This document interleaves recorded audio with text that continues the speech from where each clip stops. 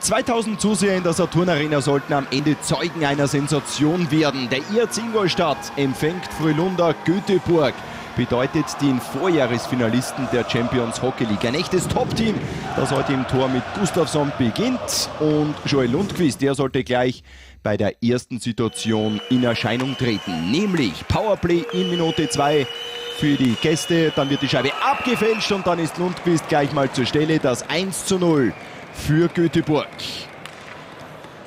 Ja, zunächst hatte Abbott seine Finger im Spiel, dann wurde der Puck abgefälscht von La Liberty und Lundqvist bezwingt Pilmeier durch die Hosenträger. Zu Beginn viel Respekt bei Ingolstadt zu spüren und Frölunda ist eiskalt vor dem Tor. Das 2 zu 0 durch Lechkonen. Keine Chance zu Beginn für die Deutschen. Die Gäste aus Schweden machen kurzen Prozess und Pielmeier ist wieder geschlagen. Im Moment eine ganz schwierige Phase für den ERC. Der schlägt dann aber zurück in Minute 12 durch Alexander Barter.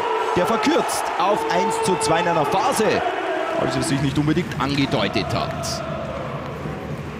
Ja, weil Großteile des ersten Drittels Frölunda kontrolliert und dann vermeintlich zum dritten Treffer kommt, aber dieser wird dann aberkannt, weil Albert hier im Tor am Abseits steht und richtigerweise zählt dieser Treffer nicht.